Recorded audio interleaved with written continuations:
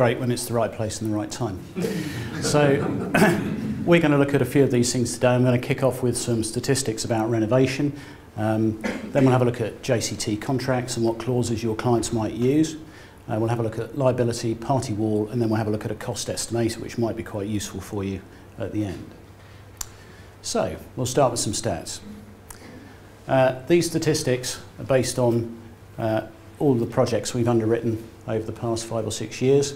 Uh, a lot of project time, uh, quite a lot of works, sums insured, uh, quite a lot of existing structures, and an awful lot of party wall liability.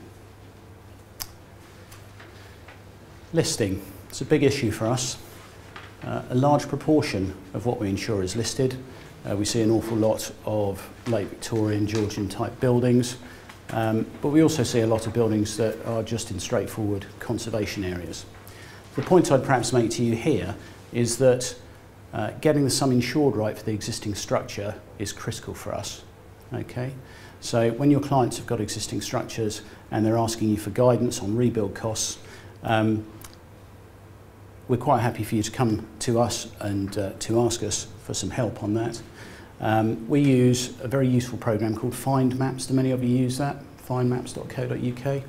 It's a very useful website. Unless you're on it all day, every day, you won't get charged for using it. And um, what it does is give you access to, if you go to the tools section, the ground floor square footage of the property you're looking at. Um, so you don't necessarily have to go and step it all up uh, to get an idea of what the overall square footage is. We use it quite a lot in conjunction with things like Google Maps and some of the other mapping um, programs that we use in insurance. Um, so when you send something into us or a broker sends something into us, uh, we've got a really good idea of whether that sum insured is correct and if we don't think it is then uh, we'll come back to you and talk to you about it. Particularly important of course for listed buildings to make sure that that's right because your clients have a liability to reinstate those um, provided it's not a total loss and in most cases it isn't. Location-wise, unsurprisingly, a lot of what we do is in the south of England. Uh, it's where there's a lot going on and a huge amount uh, in London as well. Uh, some really, really quite leery projects, including double basements, that sort of thing. We get involved with that, uh, those types of projects quite often uh, because there aren't many underwriters who've got the appetite uh, to get involved. Thankfully, A large proportion of our clients have joint names JCT, and we'll talk about why that's a really good thing and how the client wins. Unfortunately, 20% have no contract at all. They're running on the contractor's terms and conditions, and we'll look at how uh, that might not be great for them in the event of a loss. In the last five years particularly, the amount of people taking out party wall insurance has increased. Uh, about 36% of our clients do. And it's our biggest source of claims by claim intimation. So we see more claim intimations, so more notifications of claim um, than we do in any other class of business we write uh, within Party Wall. We don't pay out the most money on Party Wall. Um, the losses tend not to be huge a lot of the time. Uh, big catastrophe fire losses and water losses are the ones that really cost us a fortune. Um, but in terms of claims investigation costs, uh, party wall insurance uh, really accounts for the majority of our claims investigation costs, I'd say, on our book. Two interesting ones here, time and money. So uh, about 90% uh, go over schedule and an even higher percentage go over budget. Um, anybody got any ideas why that sort of thing happens, particularly in private client land? budgets probably changes the client spec. Exactly. Quite often clients change their mind as projects are going on. Um, in terms of time, could be something to do with weather, could be something to do with materials. Quite often it's to do, in terms of budgets to do with the specification.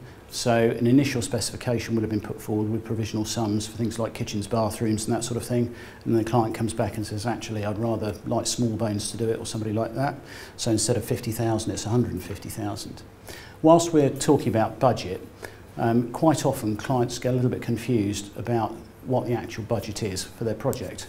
And quite often they'll tell their broker, well, my contract says 400,000. In terms of a sum insured, that's probably not the right amount, and we'll just talk briefly about that. So if a client's got a project that's 400k, um, what other things might they have forgotten to add into that? VAT. Fees, Fees, yeah. So let's say um, you're all working on a shoestring and that's 10%.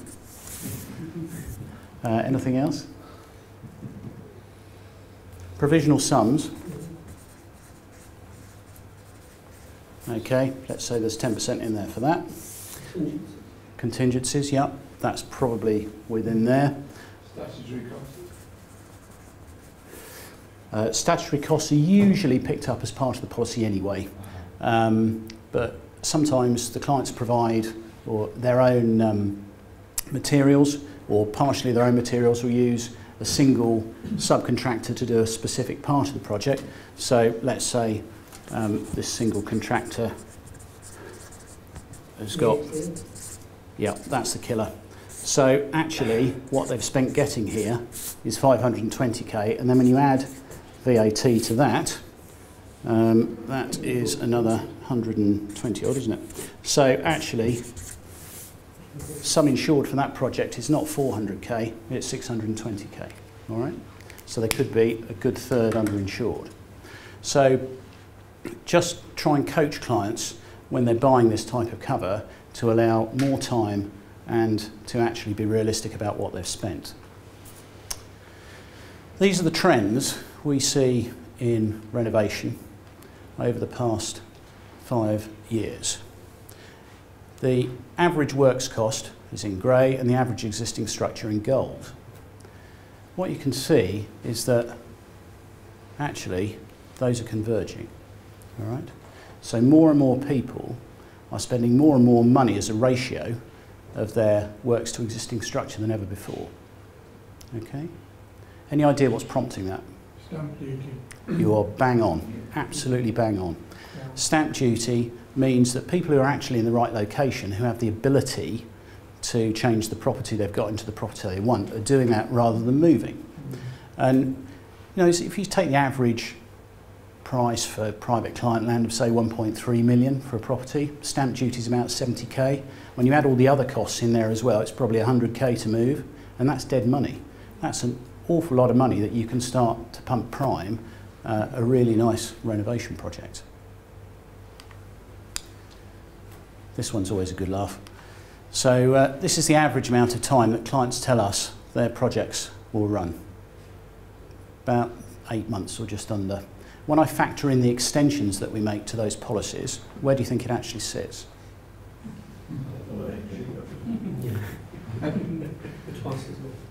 There you go, just over 12. So actually, again, clients are better placed if they can assume that it's going to take slightly longer than they think or their contractors um, promised it's going to. Um, and there's a really good reason for that.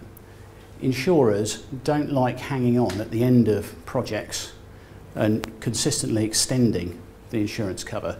The reason they don't like doing that is because most large losses occur from the midsection to the end of a contract. Okay, all those expensive things are going in. There's things like application of heat for plumbing and that sort of thing going on as well. And so all of our large losses tend to occur within that period. So the more you're seen to be extending it at the end, the less an insurer likes it.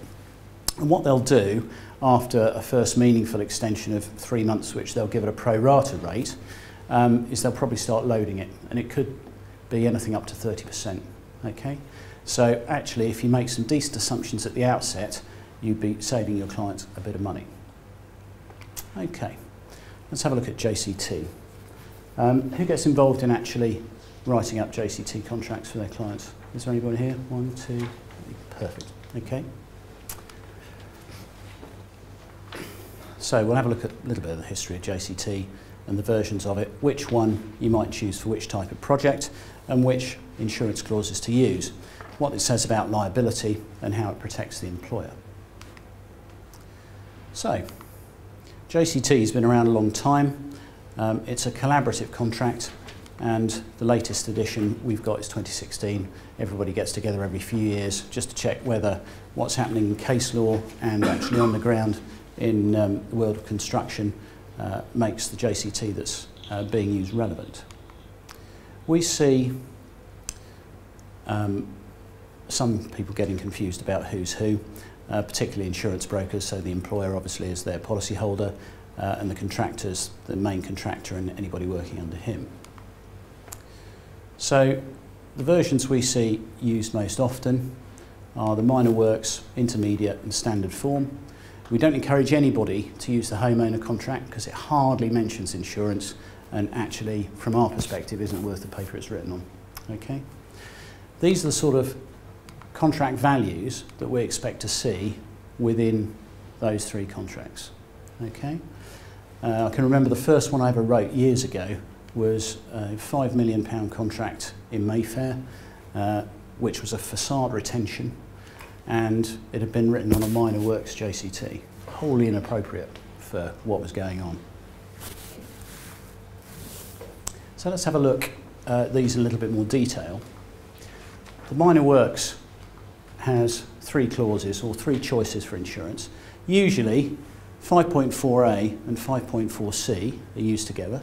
Okay, that's insurance of the works by the contractor in joint names and insurance of the existing structure by the employer. Now, the reason this is done is that traditionally insurers actually didn't want to give joint names cover on the existing structure. Any idea why? It's to do with subrogation. Okay? So normally the person who burns the place down is the contractor or one of their subcontractors. And if they're joint insured, they're both first party to the insurance, then the insurers can't actually subrogate against them. In turn, what that means is that the insurers can't claim on their reinsurance. So if it's a particularly large property, so the likes of Hiscox retain perhaps 5 million themselves, Royal Sun Alliance probably 2 million. If you've got an existing structure that's 10 million, then if they give joint names cover, they're on for the whole 10, okay? Not just their 2 and 5 respectively. And you can imagine how unpopular an underwriter might be if he'd made the decision to give away joint names cover uh, and then a loss like that occurs. Goes straight on their bottom line. The downside of writing A and C is that not many contractors bother to ring up their insurers and say, can you put this in the joint names of uh, me and the employer? Okay, less than 5%. So what you end up with is the works insured on a solus basis in respect to the contractor. Okay, we'll look at that a bit more in a minute. Um, 5.4c for the uh, client, for the employer, means normally that the insurers will restrict the cover down, perhaps to fire only, okay, during the works.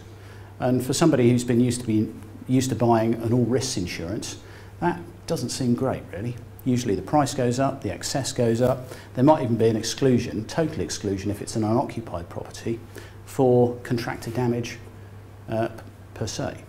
Okay? So, the best way to ensure this, if you can, is for the employer to do it.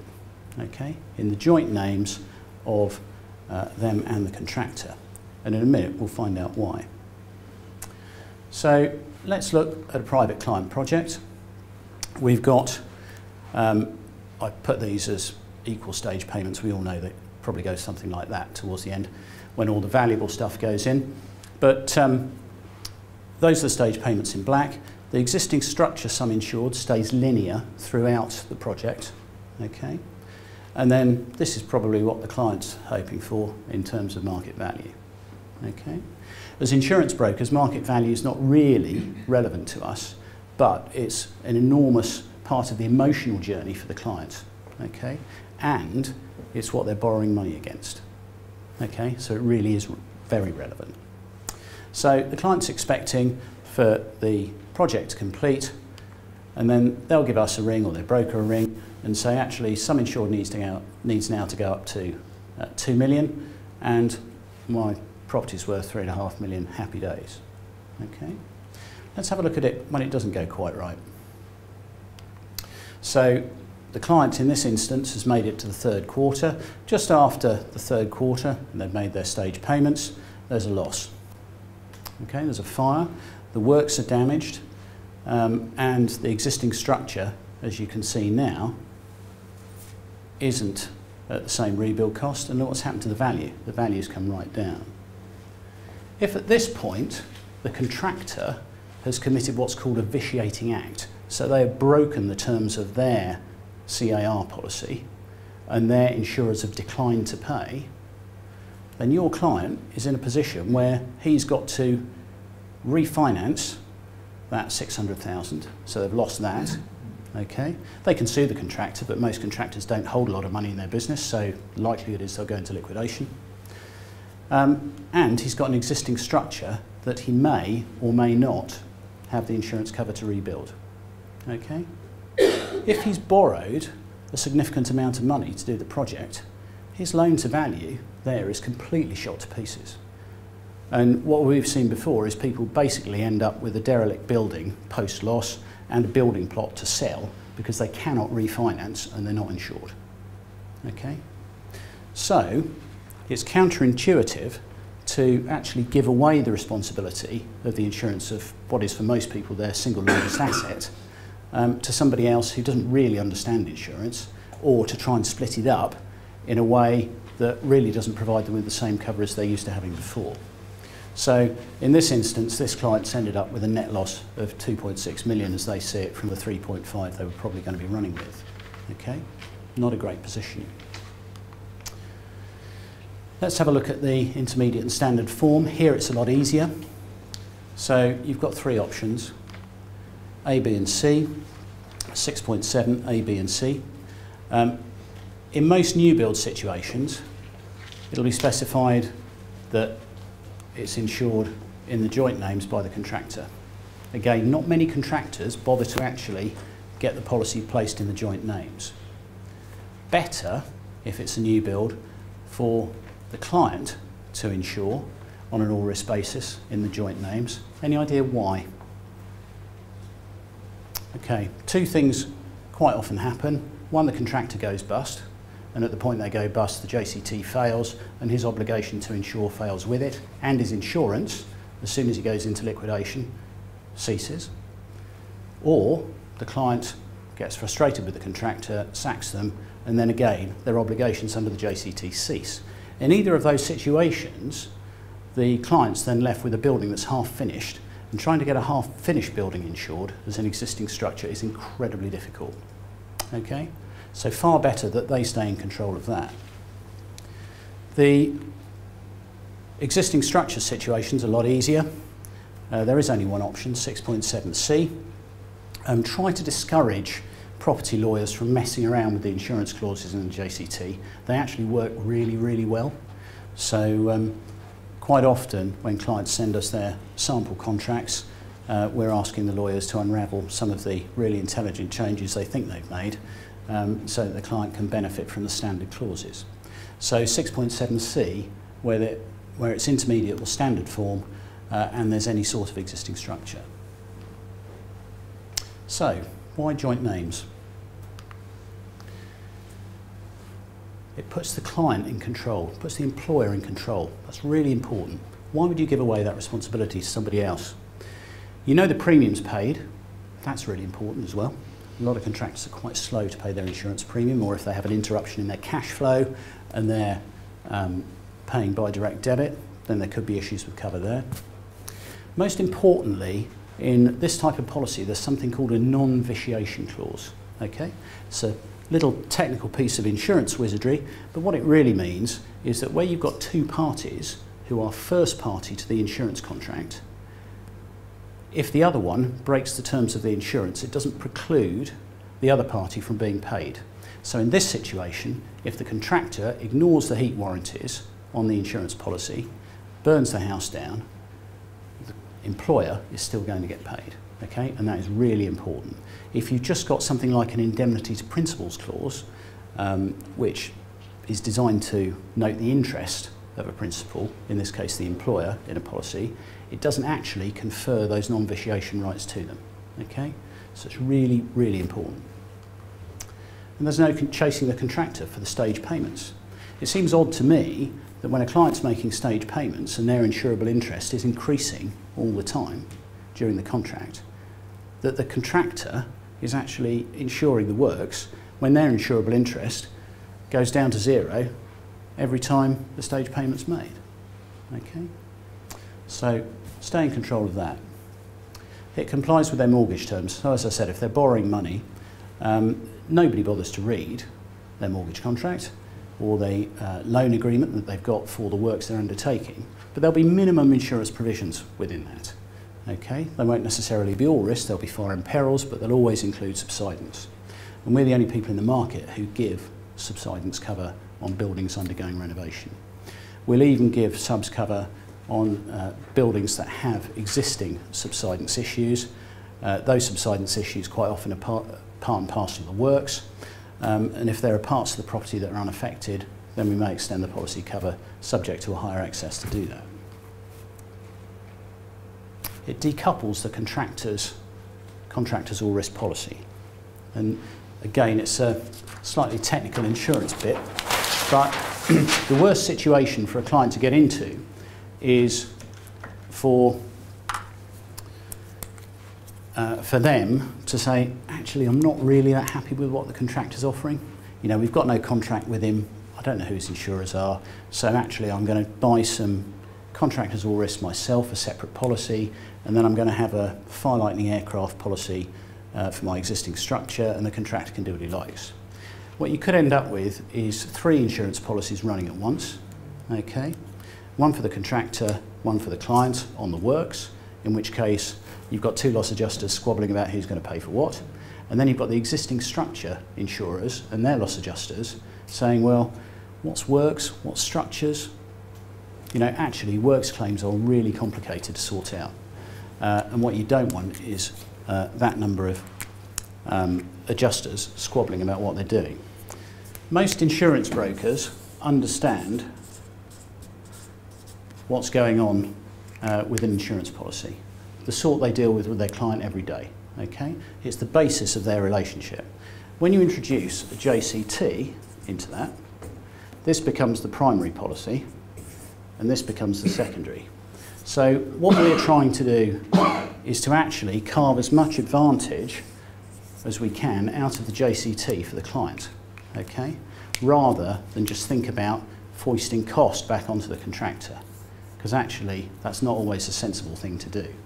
And I find construction lawyers think that by trying to force the insurance responsibility back onto the contractor, they're saving their client a fortune. Well, actually, the client's going to end up paying for it anyway, so they may as well have it right. Okay, and it may as well be in their name. Okay? So we end up with no dual insurance, which is something you definitely don't want. The other benefit of this is that it's all risk cover for the structure and the works. So you remember what I was talking about in terms of the existing structure being covered for fire lightning aircraft risks only and the works being covered against all risks. I'll give you a good, a good example of where that could have gone very wrong for a client. Um, we had, I think it was a six million pound contract and four million in existing structure, again in central London. Um, the project is nearing practical completion. Thames Water have put in a new two inch main into the property. Plumbing contractors have um, coupled up to it without pressure testing their pipe work properly. It blows and that's running for 12 or 14 hours um, before anybody discovers it. So the basement conversion that they've done, they've lowered the ground floor and put a sub-basement in. That's now swimming pool. Okay. Um, all of the M&E that comes back into a plant room that's controlled by Cat5 cabling, 14 kilometres of it, Okay, the bottom ends of that gets wet. The contractor won't warrant the bandwidth, so we've got to rip out all of that cabling, all the finishes, everything else, and replace all of it because we can't re-terminate it higher up. Um, in that situation, if the client had only had fire cover on the property, the damage to the existing structure by the water wouldn't have been covered. Also, that client is renting a property just up the street at £15,000 a week. Okay? There's, a, again, a, a slightly technical insurance piece that says if an insured event hasn't occurred, then the cover for things like alternative accommodation won't work either. Okay? So if the loss wasn't due to fire, there's no alternative accommodation cover. We paid out 225,000 in alternative accommodation. This loss uh, came in all to 874,000. Okay? So all risk cover for the works and the structure is a really great thing because it doesn't really matter then what existing structure is or uh, what the works are. The insurers are going to end up paying for it. And this last point is, again, central. What you really want is a single insurer, a single excess, and a single adjuster. Okay? All they're focused on is getting this property back to where it was as quickly as they can. Okay? And that's really important because when insurers actually start um, trying to dispute things with each other, that introduces so much delay. Really, the client's not interested in that. All they want is their property put back, okay, and their project back on track, okay. So, actually, if you can keep it really nice and simple, use the JCT clauses in the way they're intended, then actually it will serve your client so much better. Everybody okay with JCT and the clauses? Yeah? Okay, we'll move on. Let's have a chat about liability. I'm always amazed that um, some people feel that it's as easy to make a claim under a liability policy as it is a first party property policy. Okay? For a liability um, claim to be paid, there has to be negligence, and that's got to be proved. Okay? That can take an awfully long time. And so we'll just have a look at this in a bit more detail. So basically the JCT says the contractor will indemnify the employer against these things. Okay. This is useful because it contracts the employer out of third-party claims for employer's liability, so uh, employees of the contractor, public liability uh, for people coming onto site who are not employed by the contractor, third-party property claims, potentially a transfer of party wall liability, though that's not a perfect solution. And it enables subrogation, so it's useful for us as insurers to be able to uh, fall back on the contractor's liability policy. The contractor's liability cover needs to have sufficient limits for all of those things. When you're actually pulling together a contract for a client and you're looking at tenders, how many of you actually uh, vet the insurance that the contractor's putting forward?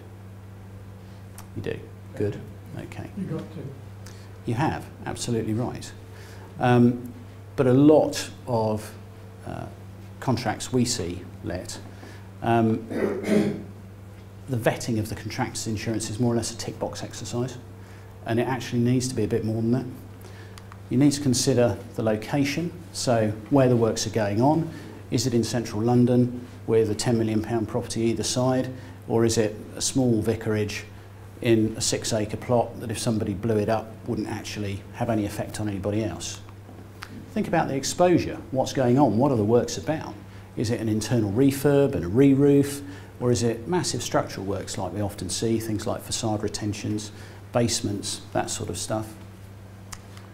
Think about the project type, so who's managing the project, because that's pretty key in terms of the liability cover that's required and think about the insurer that the contractor is using. Okay? If they're using a B or C rated insurer because they're cheap out of nowhere, you know, Gibraltar or somewhere like that, then perhaps there's a really good reason why they're cheap. Actually, when a liability claim comes in, what are the chances of them paying before they get to the court steps? Probably not huge. You know, if the contractor's insured with somebody like Zurich, AXA, uh, Royal Sun Alliance, Allianz, you know, big construction markets with A-rated insurers, then the chances are they stand uh, a much greater uh, opportunity of actually making a recovery. But if they're with one of these um, backstreet insurers, they probably don't. I had two uh, brothers. One was an artist and the other one a so-say property developer who were uh, redeveloping a four-storey townhouse in the East End of London the so-say property developer went off to Australia uh, and left his brother to finish off the project. He got on site and said to the contractor, what about insurance? And he said, well, I think your brother sorted that out. So he rang his brother and his brother said, well, I think the contractor sorted that out. And between them, they hadn't got a bean. So there was no public liability, employer's liability, there was no party wall cover and they were uh, dropping uh, a lower ground floor and underpinning the party wall. Uh, no cover for the structure and no cover for the works. So we said to the guy, I think you better stop just for now because the work sequencing looked all over the place and I don't think this guy had ever been a main contractor before. And so we sent him off to a couple of good construction markets, good brokers, to go and get some proper insurance.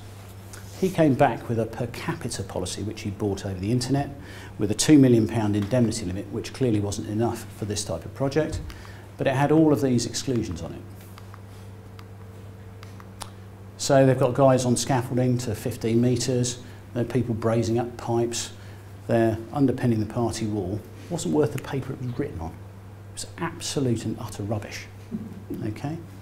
So what we ended up doing was advising the client to employ a project manager that we would approve, which he did, and he effectively self-managed the works on behalf of, um, of the artist and saw them through. Thank God he did.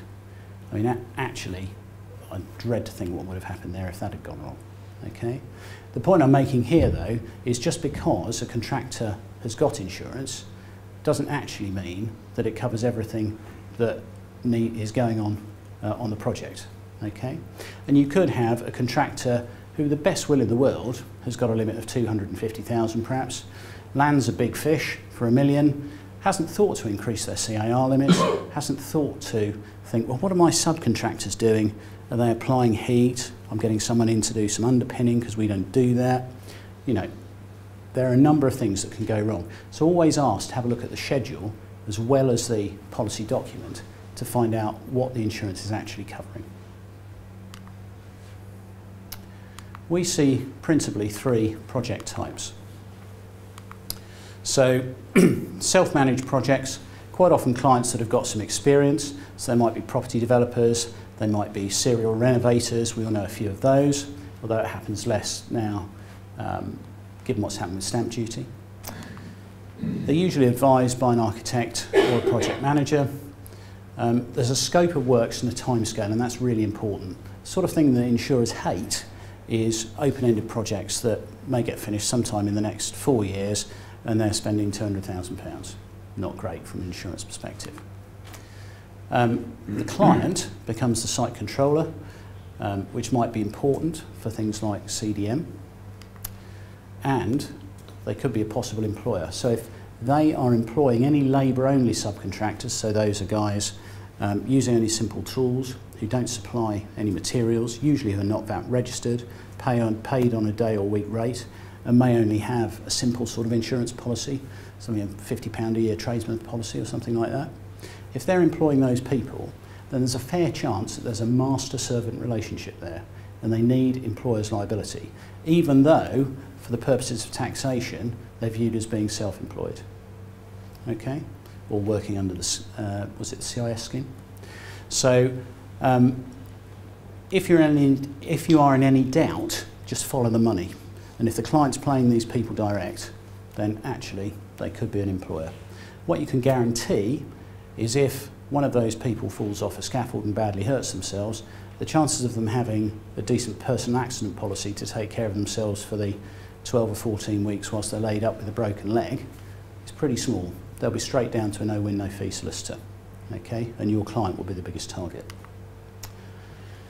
Somebody retains a project manager, actually, other than the clients perhaps having little time or experience, it looks exactly the same.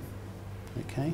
So the fact that there's a project manager on site doesn't alter the relationship between the client and the people working on site. He's just helping the client um, manage the project. The best contracts from our perspective are ones that are fully let, so they're likely to be JCT. There's a decent Gantt chart showing what's going to happen and when. Um, the contractor becomes the site controller, uh, and I think it's under derogation 7 in the CDM regulations. Uh, they're actually um, have the CDM foisted onto the contractor, uh, which is great, and notification as well. I think notification's 400 man days, is that right? Uh, for notification of a project. Well, that isn't a very big project. You know, that's five months with half a dozen men on site. You know, there are lots and lots of projects that require notification. It's not about the building anymore. Have any of you done much around CDM regulations? Um, yeah, okay. So you'll, you'll be aware that the original interpretation of CDM was if it was a residential contract, it didn't apply. Whereas actually that's entirely wrong. It's nothing to do with what the building is, it's to do with who the client is, whether they're a residential client uh, or whether they're, um, I can't remember the phrase now, what do they call them? A, um, a commercial client, let's call them a commercial client. Okay? So uh, your client really doesn't want to get bound up too much in CDM if they can avoid it. The contractor takes care of CDM and the contractor manage all, manages all of the relationships with the labour-only subcontractors and the bona fide subcontractors. So, in terms of the liability cover that clients need, this is what it looks like.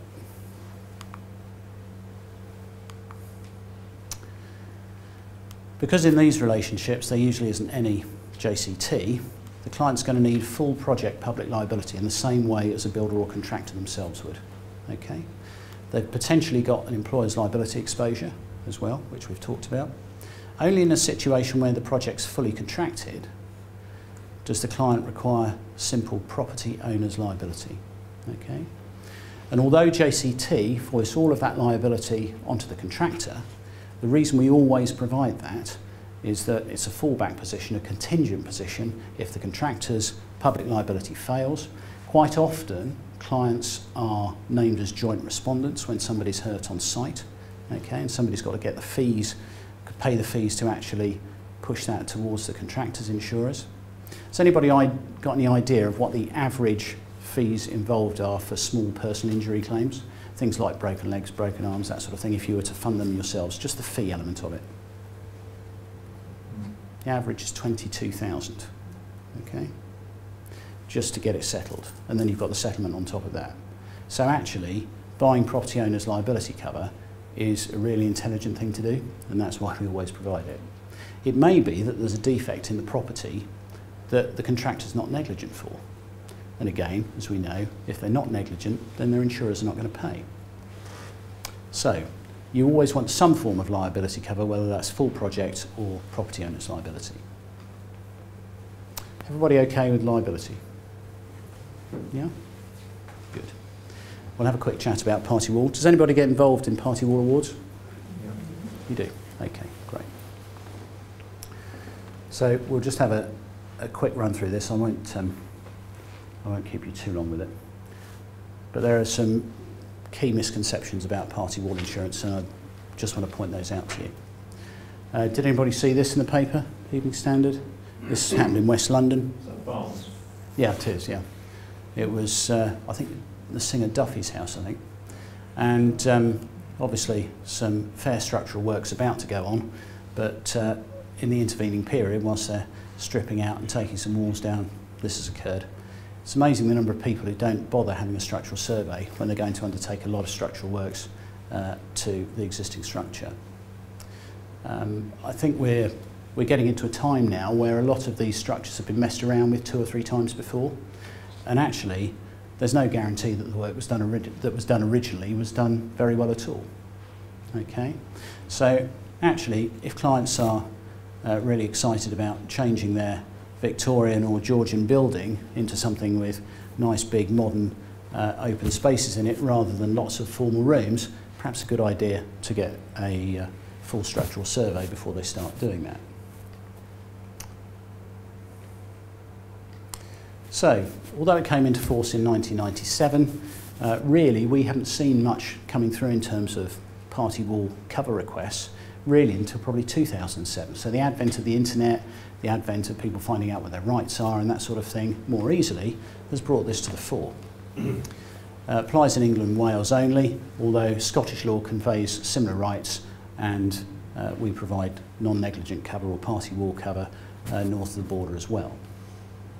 It's an enabling act, so actually uh, it provides rights for both the people doing the work uh, and their neighbours. There's a fair bit of confusion about what a party wall is, so it could be anything up to six metres away from the neighbouring property, dependent on the depth of the works going on. Everybody usually expects it to look a little bit like that. It could just be a bearing beam or something like that for a smaller structure.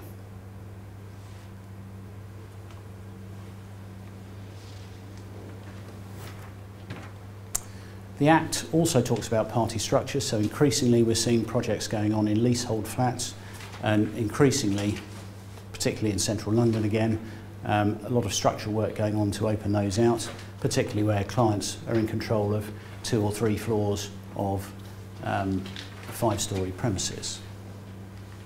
So the Act applies above and below as well as from side to side. Could just be a boundary wall. So these are the owner's rights, obviously dependent on the work. The ones we see uh, most often are that and that, uh, and those are the ones that usually are the subject of insurance. So what the owner's got to do is inform all the adjoining owners, provide temporary protection for adjacent buildings, which doesn't always happen, but this strict liability occurs. So they've got to make good damage or settle with cash. Okay? There aren't many acts in the UK where there's strict liability. Employer's liability is another one. Okay? But um, when we talked about the JCT earlier, we talked about um, a pass-through, if you like. So So we've got the client, um, and we've got all the third-party liabilities down here under the Party Wall Act. Okay. The JCT seeks to divert that via the contractor. Okay. But if for any reason this fails at any point, this liability will still be there. Okay whether it's the contractor's liability insurers, their non-neg insurers, or the contractor themselves who fails. Okay. So we'll just, just keep thinking about that for a minute. What they mustn't do is start without telling anyone or do what the Act says uh, as causing an unnecessary inconvenience, which is things like working at night and weekends and that sort of thing.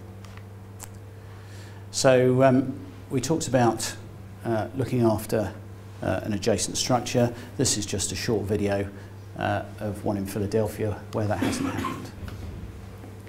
You see quite often in, um, in London now, big structures going up next to uh, older ones and there being a lot of structural support as well as felt and battening for the party walls. Uh, obviously this didn't occur when they were demolishing the neighbouring property.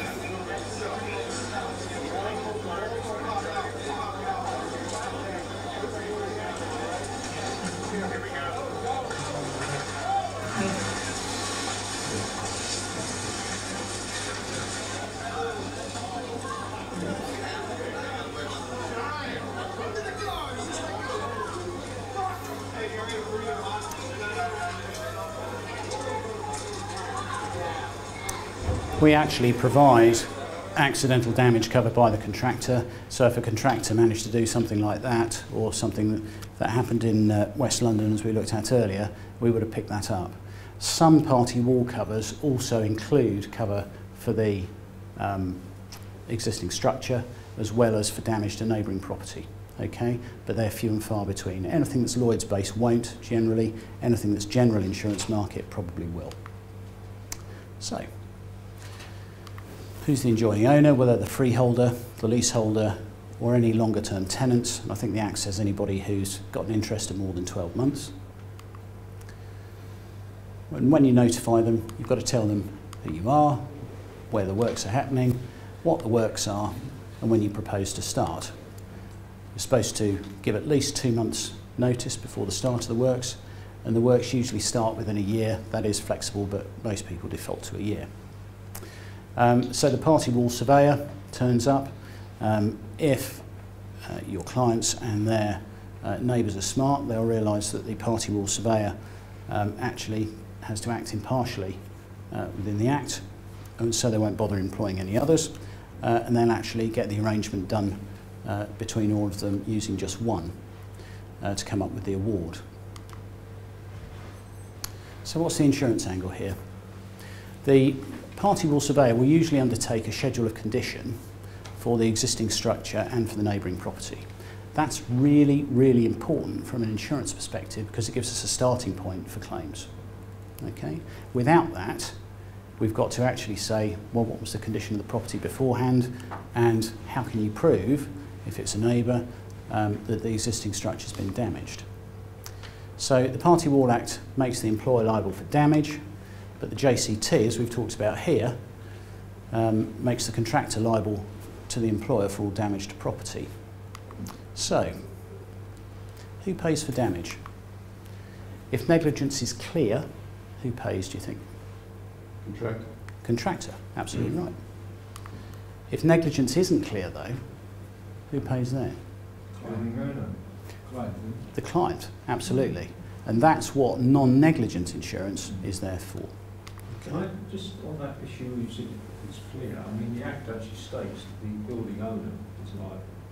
That's right, So it is the building owner, but obviously he would have recourse against the contractor. correct. Yeah. Yep. So, So in the normal course of events, I'll give you an example. So if you look at this one here, for example, yeah, um, in this example, who pays there? Contract. Yeah, the contractor's insurance generally will be the first standpoint or the first port of call for this type of damage. Okay? Generally speaking, provided it's not too severe, most contractors just get on and put it right anyway because Yeah. they know they're going to be liable yeah. and they've probably got a large excess. Would an insurer pay the contractor in a case like that? Yes, yes, they would. Yeah, But surely it's just a case of the contractor not doing his job properly or... exactly. So that the, the client intimates a claim against the contractor, says, I've got a liability um, under the Act, but you've also damaged my property, so actually I'm going to sue you. Um, the contractor intimates a claim to his insurers. His insurers say, clearly we're negligent here, yeah, we'll pay. That's how that works. In this situation, though, things might be slightly different. So the contractor removes the load-bearing wall and causes a collapse in the existing structure and damage to the neighbouring property. Who pays?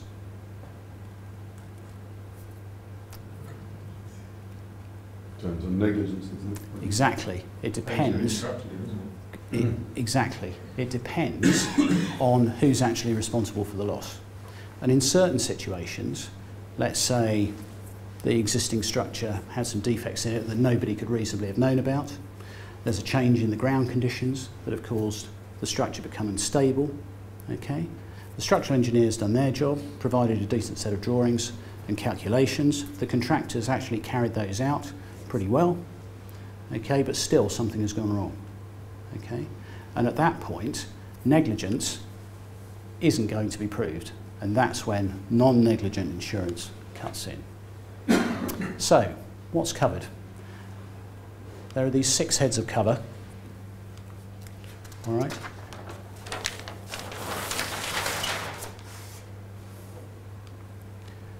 Okay? So, non-neg- non-negligent insurance isn't a panacea, it's not a perfect solution, but it's as close as we can get to one. Okay? It's not a property insurance, it's a sort of, if you'll forgive the expression, a bastardised liability insurance. Okay? So when someone chooses a limit for non-negligent insurance, the insurance, as, in, as with any other liability cover, will pay up to that limit and no more. Okay, there's no underinsurance. But after that limit is breached, then the person who's bought the policy is deemed to be their own insurer thereafter. Okay? So make sure when you're setting the sums insured for um, a non-negligent policy that it takes account of the rebuild of the existing structure and the possible damage that could occur to the neighbouring structures. okay? Really important. More importantly though, um, it's probably easier to understand uh, what the exclusions are here, what's not covered. So negligence by the contractor is not covered because that would be their public liability policy, which we've talked about a few minutes ago. Errors or omissions in the design of the works, and those could be architectural or they could be um, a structural engineer. Where most um, insurance policies um, are avoided by underwriters in non-neg is in this area here. Damage that could reasonably be foreseen to be inevitable, given the nature of the works and the way they're carried out. And I'll give you an example of that. So if I've got three townhouses, each of which have got a lower ground floor, and the centre uh, client wants to lower that lower ground floor, quite often these are only sort of six feet, seven feet in height, and they'd rather they were nine. So this is going to require some underpinning along here. Okay. If the choice of underpinning is sequential hit and miss, does everybody understand what I mean by that? Yeah? No? No. Okay, fine. So if we look at it in profile, we turn that around. So if the underpinning that's going on um, is restricted to 1.2 metre bays, that's usually the maximum specified by insurers at any one time. Okay. Non-sequential um, hit and miss sounds terrible, but it's in fact great because you're not removing from the party wall large swathes of support at any one time, so the opportunity for structural failure is low. Um, in that situation, then the likelihood is you will be able to buy some non-negligent cover and an insurer won't be able to avoid the claim, okay? Because it's been done in a nice and gentle way that everyone understands. If the structural engineer says, well, actually, we're going to smash in some sheet piles there, or we're going to use a more aggressive method of underpinning, then the chances of there being vibration up and down the party wall are significantly increased, okay? As is the opportunity for damage. So much so, in fact, that it could be viewed to be inevitable um, in relation to the way it's been carried out, okay? So if you've got clients who are considering a very aggressive form of underpinning um, or structural support, then really they ought to be making contingency within the contract to actually meet the costs of repairs to theirs and the neighbouring structure because it's unlikely that a non-negligent policy will pay. Doesn't mean you can't buy the cover and in certain situations insurers may provide the cover for an increased premium or for a higher excess, combination of the two, um, and they might, might insist on some monitoring, for example. We get that quite a lot on things like facade retentions. Okay? But um, if the insurers turn around and say, actually, we're not very comfortable with this, I don't think we're going to be able to offer cover, you know it's falling within this area and actually the client needs to make some provision within the contract. Damage that's not under the six heads of cover, and that's usually decor um, and damage that falls within the policy excess. So increasingly, uh, we're seeing uh, escrow methods used. Anybody coming across that? Yep. Okay. So those escrows normally um, are, as a minimum, the insurance excess. Okay. Quite often can be quite substantial sums with things like facade retentions and basement works. It's not unusual to see excesses of 15 to 50,000. Um, some clients who are particularly well capitalised might choose to um, actually take a much larger deductible themselves. Um, and that stays uh, with whoever it's vested with, usually within the um, gift of the party wall surveyor uh, until the works are complete. Um, if there is no damage or there's a successful insurance claim made and not all of that money is used, then it can be returned to the client at the end of the project. Does anybody, be, anybody see sort of unreasonable demands for um, escrows being made? Quite large sums of money in relation to the contract? Yeah, okay. Where generally are you going with that? Well, I mean, it's what generally with basement works, I mean, if you're asking fifty, hundred thousand pounds, it's, um, Okay. you know, obviously at the end of the day, it's, it's a probably all issues. it's, resolved between the two surveyors or referred to the third surveyor, but, um, you know, I think some of them are just, they're, they're, they're unprovable anyway, and they, they ask for hundred thousand, there's no logic to it. It's just- No, no, they- They, absolutely. they think it's a number that, well, hundred thousand, And is that regardless of whether the contractor or the client buy insurance or not? uh, yeah. Really? Okay. I Don't know whether any of you saw this um, a little while ago. This is from northeast London. A very sad situation. So we've got uh, a pair of leaseholders um, who own a company that owns the freehold 50% each, nothing unusual about that. Uh, the couple on the ground floor had an expanding family, so wanted to do a basement conversion, um, which they duly did. There was a change in ground conditions uh, shortly after that was finished, and you can see what happened. The gable end's completely fallen out of the property. It split away from its sibling, and um, it's all a bit of a mess. If you actually go to the website and have a look at some of the other photographs uh, that were there, it sort of gets worse. A dangerous stru- structures notice was issued, so they weren't able to go back in and recover any of their contents either. And um, so they, they lost everything. When it occurred, they went back to the contractor, who went back to his insurers, and found out that he'd ticked the box that said he was a painter and decorator. So his insurance, although it was inexpensive for him, wasn't actually for basement conversions. So they sued the contractor, he went into liquidation. They approached their own home insurers, um, and because it's defective workmanship, it's not insured, never is. So actually, what they ended up with was losing all of their equity. I think she was a professional, either an accountant or a solicitor, and didn't want to uh, go bankrupt. So they ended up, as a young couple, 200,000 down. Okay, after all of their equity had expired, they cleared the site, sold the building uh, plot, and uh, settled with the other freeholder. What Okay. caused the ground to move? Um, I think it was after an extended period of rain, something had softened there. Obviously, there wasn't any drain, proper drainage around there, and um, and the wall just gave way. That went in, and it fell out. That, that happened after the work had been Yeah, completed? just after the work had been completed. Um, there are, as you're probably aware, latent defects policies you can uh, buy to pick up uh, these sort of structural, uh, big structural projects. Um, make sure that those are instigated at the outset of the works, not at the end. Really important. A lot of the insurers will want to see the work that's going on at the time. They perhaps want to send their own surveyors out two or three times during the works. Okay?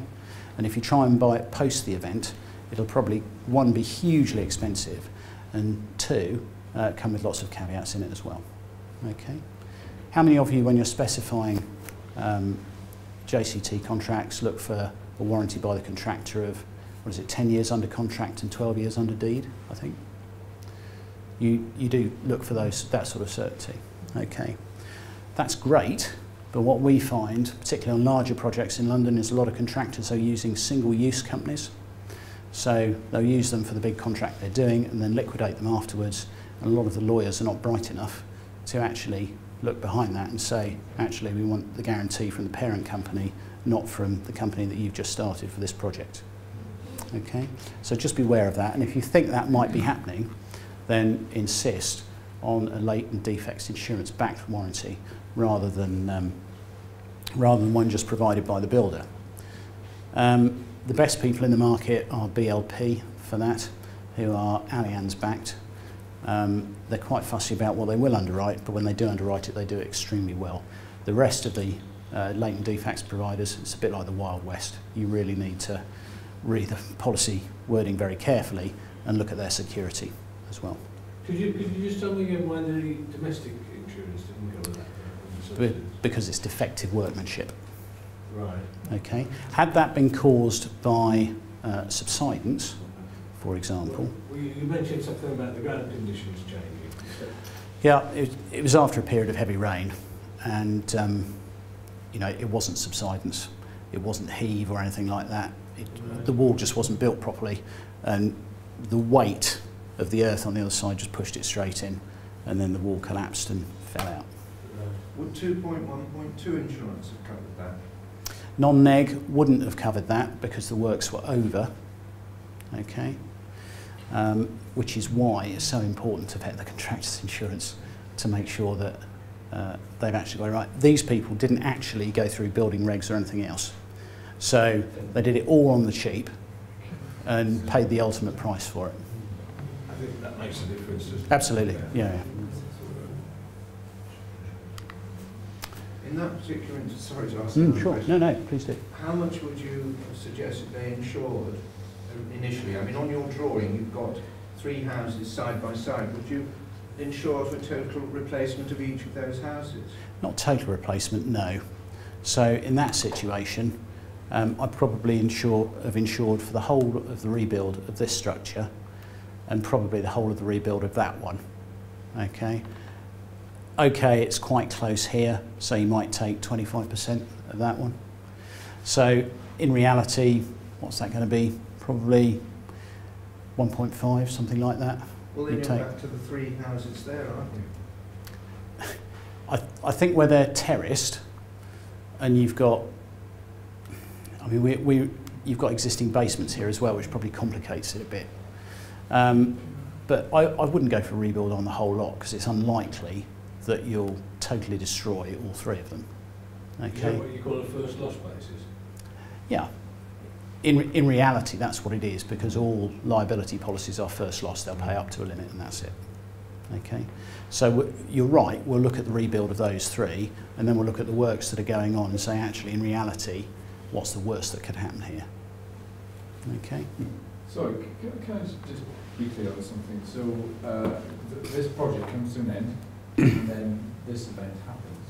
hmm So what policy should there have been in place to cover you for the latent defect? They, they should have bought a latent defects policy. But in this instance, if the latent defects insurer surveyor had gone along Yeah. and had a look at the works that were carried out, they'd have said, I'm sorry, this is, you know, it's not right. Okay, and at that point, they would have actually got really good value out of it, both before and after the works that were finished. Okay. So if they've got building regs on that, would they have been covered by their own policy? They would have to have proved um, that it was an insured loss and not um, and not um, defective workmanship.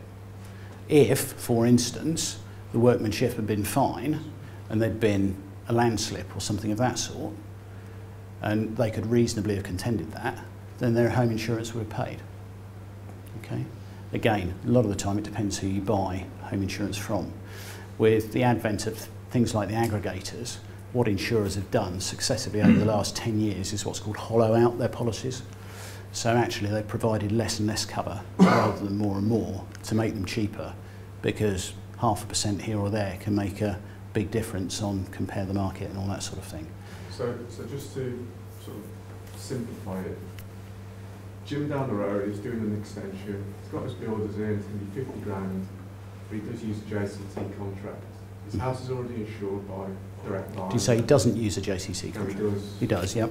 So his house is already insured through Direct Line or whatever. Does he then then come to you and say, look, I need a, a joint policy to cover the building works, and they run together? No. So what happens uh, in the majority of cases, and, and this is why um, I'll, I'll come on to the cost estimator in a minute, but this is one of the reasons we'd like you guys to use it, is that they'll ring up direct line. You know, somebody will say to one of their professionals will say to them, um, right, it's Wednesday today, you've got contractors coming in, in Monday, on Monday, better ring up direct line, let them know what's going on. Direct line, get the call, and they say, actually, we're coming off cover, we're not interested. You know, we don't insure properties undergoing works. Okay? And at that point, the balloon goes up and we end up scrabbling something together quite quickly. Okay? The, re- the reason they don't do it is for all the reasons I was talking about earlier, but all their cost models, and bear in mind all of these organisations are run by phenomenally good accountants with all sorts of algorithms, they don't want to get involved in the catastrophe losses that we get involved in. Okay? We don't get lots of small losses, they tend to be massive and few and far between. Okay? So at that point, they cancel their insurance, their buildings insurance with Direct Line.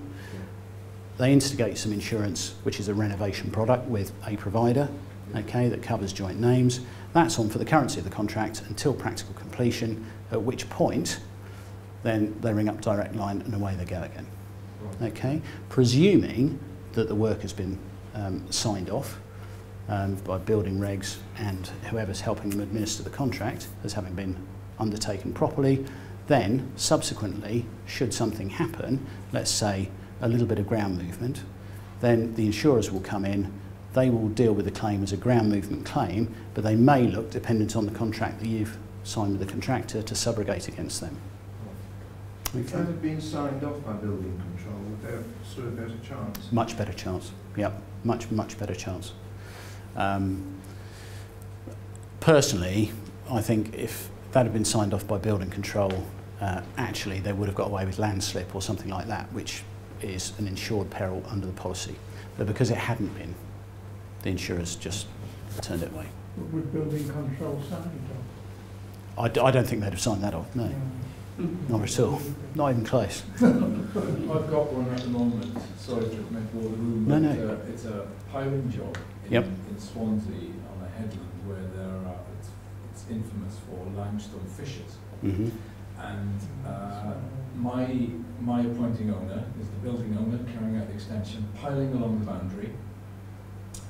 Footings on next door, we believe to be shallow, low and inadequate anyway, because of cracks internally when we did our shallow condition. Yep. I suggested the JCT twenty-one point two point one, hmm which he took out. Roger Bullivant came in, designed the piling, installed five piles next door, starts falling into a uh, slight sinkhole, etc. Yep. Problem escalates.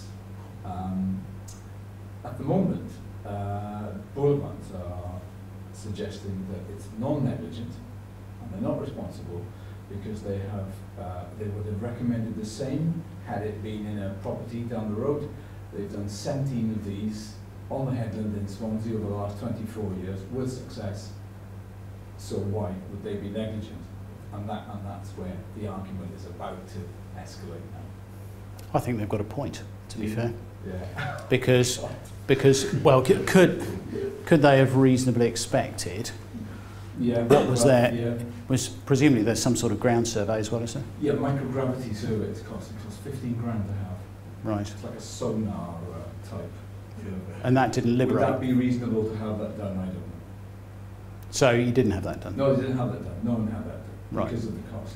Okay, Prohibitive, prohibitive really. okay. So actually, so is a, a normal ground condition survey undertaken? Uh, just a, uh, a dig. Just, right, Just a dig, right. And what, three feet or? yeah. yeah, something like that. Right, okay, I'm the party wall surveyor. I'm not, I wasn't involved in the project itself. So, uh, okay. It's, it's all about the kick-off. So on the basis that they've done a load more in that area, could they reasonably ex- have expected this to happen? Well, yes, that's what I think. You think they could? Yeah, I think so. But I mean, was there enough done up front to, you know, try and eliminate that? I'm not sure. I'm not sure how far you there, go. there, there becomes a point, doesn't there, with, um, yeah. with these situations where how far do you go to actually ensure that, yeah. and, it, and is that in the context of the job uneconomic? Yes, it would have been in this instance. yeah. Okay. So actually, I think they've got a point, and I think non-neg might well pay. Mm. Wait and see then. Do you know the non-neg policies with? Yeah, national, uh, NFU. NFU have written on Nick. Mm, that'll be written with somebody else, but Yeah. I, I suspect. But uh, it'll be interesting to see how that goes on. So, what uh, we've got is a portal which professionals can use to actually estimate the cost of this insurance because, as I said, most clients come to it very, very late in the process. Nobody's actually told them that they might need to buy additional insurance, and so they get awfully hot under the collar, both with us and with you, um, because they've already spent all their money and probably more on the project. Okay? So we put um, a quick quote calculator in, uh, which we'll send a link to JJ uh, so you can uh, get to it, um, which just for a few pieces of information enables you to actually get an estimate of what the contract's going to cost to insure, excluding non-neg, which is really specialist underwriting stuff. Okay. Um, I asked one of our guys just to have a look and see how long it would actually take to do. Had you got all the information? So it's a 12 month project, million pound existing structure, it's grade 2 listed, it's in an urban area. Standard construction, so brick and tile, brick and slate. 650,000 contract. There isn't any own plant owned by the client, and we're not retaining any contents of the premises. £5 million pound limit indemnity, and you know within a few seconds you've got an indication that you, you can put in a provisional sum for, okay, and actually um, your client's then expecting rather than not expecting, okay. Do you have the right to use that catchy tune, way? Definitely not. Are you insured? Definitely not, yeah. yeah. I'm sure they'd be really upset. So um, on our website, there's a knowledge base where you can look at some of these issues. Um, there's a section specifically for architects and another one for renovators, um, where we talk some of this stuff through. Okay. Uh, our guys are usually on hand to talk to you about issues and problems. Um, there isn't much we haven't seen, so we're about the only people who underwrite thatch. Um, I've done conversions of water towers, um, a canal tunnel. Why was somebody want to in a canal tunnel? But, you know, all, all sorts of weird things, okay? Um, but we love to get involved in really interesting projects.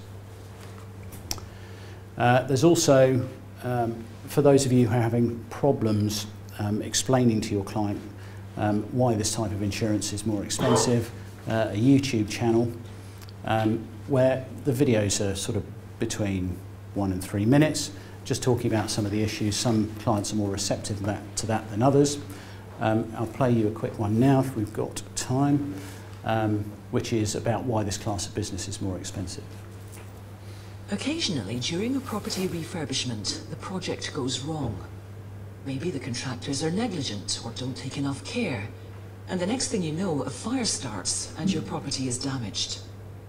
At this point, you're either eternally grateful that you took out that renovation insurance policy, or you're staring disbelievingly at the loss adjuster as he tells you you're not covered. How will you meet the additional costs of fixing the damage? If you don't take out the proper renovation project insurance, how long will you beat yourself up after the incident?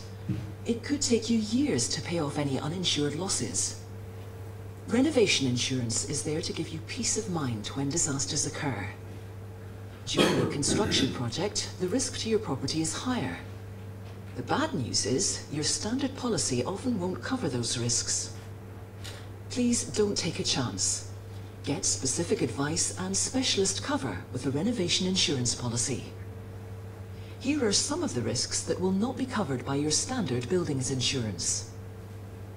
Contractors using welding gear and heat lamps raise the risk of fires. Will their insurance cover this if they burn your house down? There will be times when you need to leave the roof open, exposing your property to the elements. A storm could cause serious damage. Your building will be empty for periods of time during your renovation, especially at weekends and overnight, which provides ample opportunity for vandalism and theft. You'll have valuable building materials stored on your site, and these will be very attractive to thieves. Some refurbishments require structural changes to the building, which can make the property physically unstable for a while. Even near the end of a project, the heating may not be working. You run the risk of burst pipes and water damage when nobody's there. All of these things can damage your property, but what about the people? A building site is a dangerous place. Contractors and visitors can suffer accidental injuries, even death. In a world of no-win, no-fee injury claims, is that a legal action you want to pay for? You're wiser to spend a few pounds now, rather than thousands of pounds in court and settlement fees.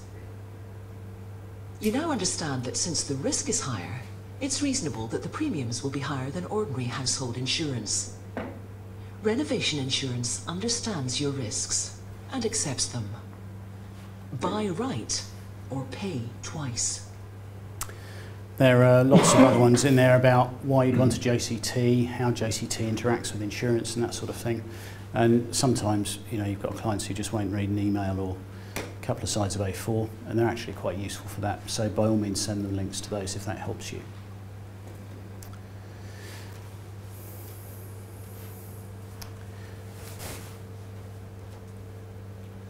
I often um, look for uh, just a few words to explain uh, what we do and uh, why we do what we do and the way we do it. And um, I used to use something uh, by uh, a Victorian philanthropist and entrepreneur, but it's a lot more long-winded than this. And that sort of says it all. Actually, this is one of these markets where you do get what you pay for, whether you're buying latent defects, non-neg, you know, we, we do an awful lot with Royal Sun Alliance because they are really good at paying claims. Um, so choose your insurers carefully, make sure you get your contracts right, okay? Make sure you do it in joint names because the client wins, all right? And make sure that they go to a broker they trust. You know, it, it may, uh, about 60% of the UK market comes into us anyway because we back people like Hiscox. So um, we see a lot of this sort of stuff all day, every day. But actually, when clients win is when this is done right. Okay. Thanks so much for your time today. It's, uh,